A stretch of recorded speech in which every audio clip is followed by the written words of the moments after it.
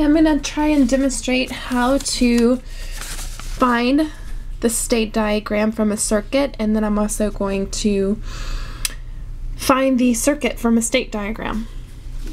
So the first thing I do when I get a question like this is I try to figure out, okay, what do I need in my table? So I'm going to have a J, a K, two Qs, an input X, and an output Y. So I'm going to have Q1, Q2, X. And this is going to be my present state. This will be my input.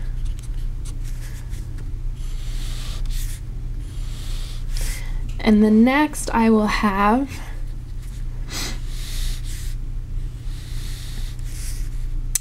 a J, a K, and these will be my flip-flops to produce my next state Q1. This is going to be Q1. This will be 2 QT, ugh, sorry, Q2. So my J and my K will give me my next state Q1. Next we will have our T flip-flop, which will give us our next state Q2. And then finally we have our Y. Now we need to come up with all possible combinations of Q1, Q2, and X. Since there's three different variables, it's 2 to the third, which is 8. So let's do 8.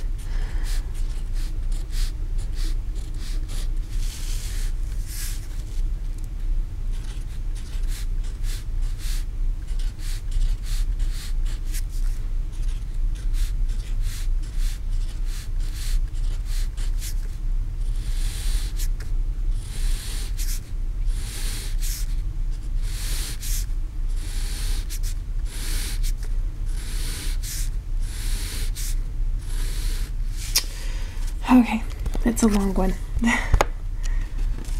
so, next, to figure out my j's, I go ahead and put my little equation for my j's up here by looking at the circuit. So, j is going to equal x primed and q2.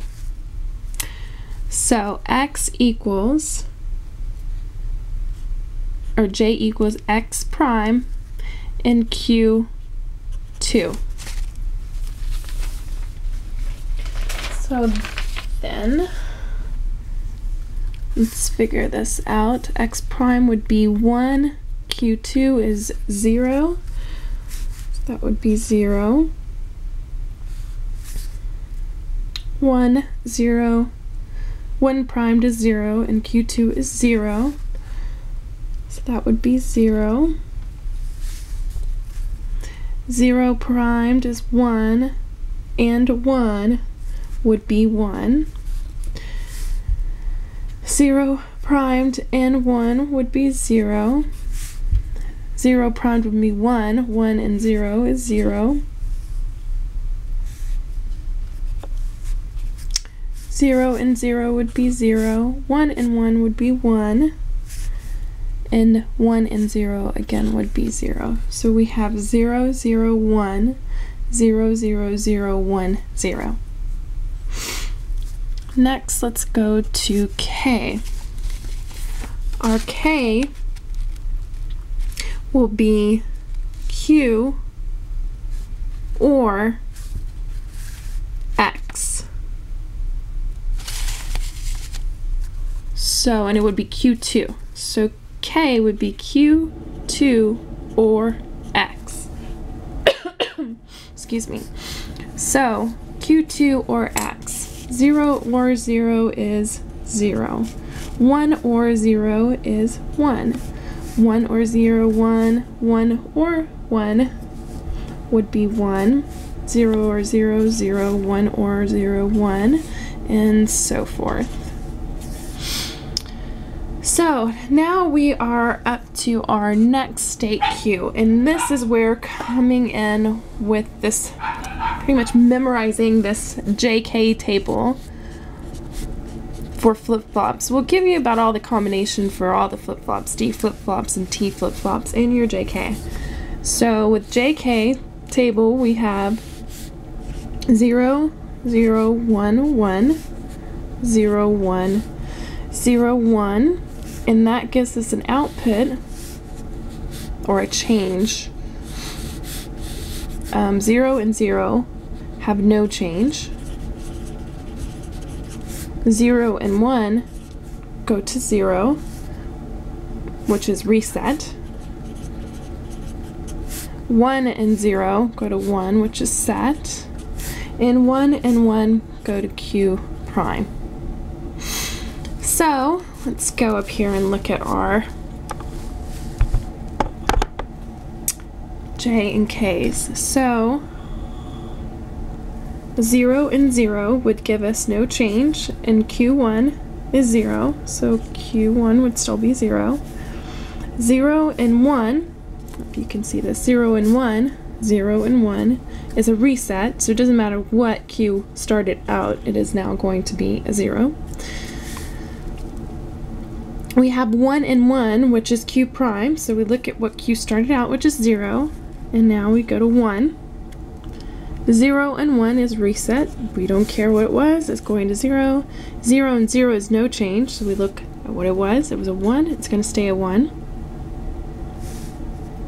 We have 0 and 1 again. Reset. 1 and 1, which is prime, which is 0. And 0 and 1, which is reset. So we have 0, 0, 1, 0, 1, 0, 0, 0 for our next state of Q1.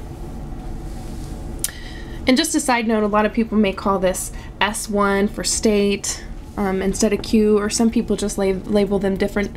As long as you realize that the first variable you use, the second variable you use, first state, next state. Okay, so now for T. Now for T flip-flop, our equation is going to be we have Q2 coming in and then we have Q1 coming in if you can see that and we are priming it so our T is going to be Q2 times Q1 prime. So let's look at Q1 times Q1 is 0, primed is 1, 0 times 1 is 0, primed 1. Now 1 times 1 is 1, primed is 0.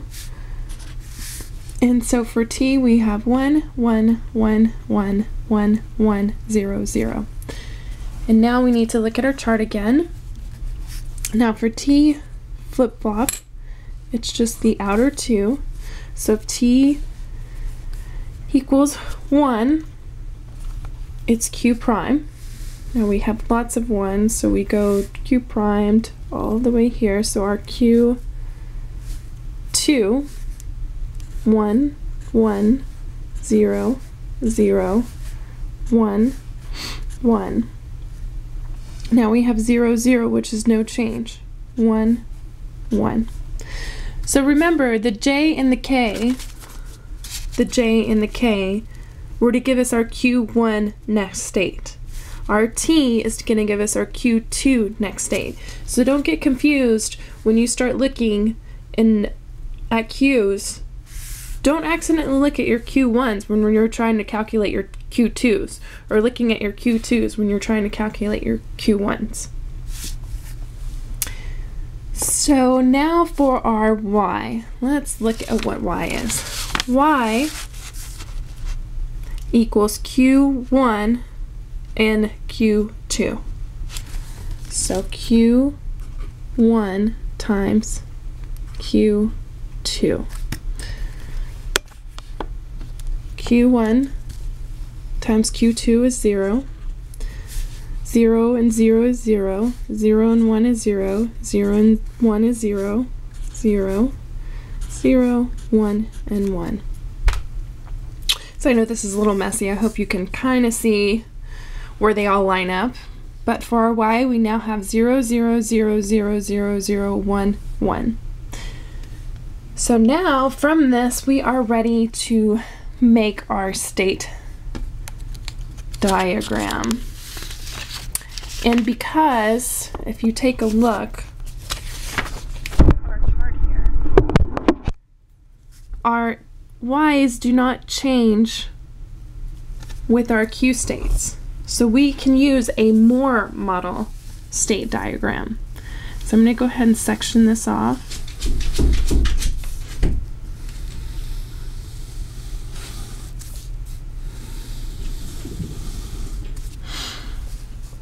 So again, for Moore, we have 0, 0, and 0, 0 equal 0 and 0. Because our y's do not change, we can use a Moore. 0, 1, 0, 1, they both equal 0. So, let's go ahead. Okay, next we'll be um, doing our state diagram.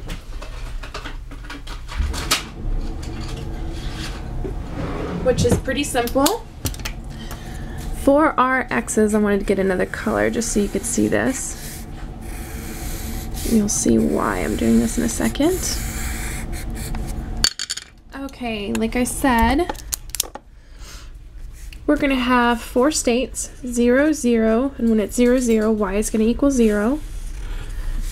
0, 1, and when it's 0, 1, y will equal 0.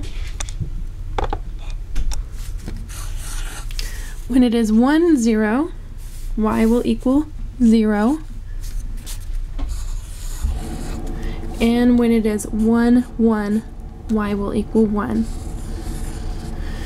So now we just have to fill in our x's. When x is 0 at 0, 0, it goes to 0, 1. When x equals 1, it goes again to 0, 1. When we are at 0, 1 and x equals 0, we go to 1, 0.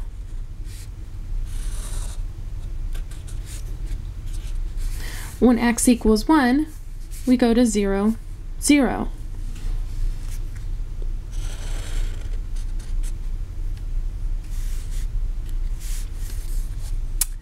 When we're at 1, 0, and x is equal to 0, we go to 1, 1. When x is equal to 1, we go to 0, 1. When we're at 1, 1, and x is equal to 0, we go to 0, 1.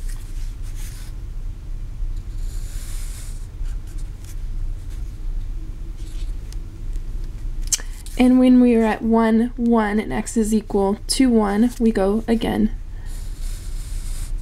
to 0, 1. And that is the state diagram.